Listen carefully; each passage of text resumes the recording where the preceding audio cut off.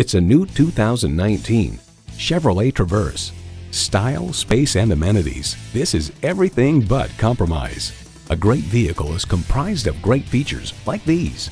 V6 engine, dual zone climate control, streaming audio, rear parking sensors, front heated bucket seats, power heated mirrors, external memory control, active grille shutters, Wi-Fi hotspot, and automatic transmission.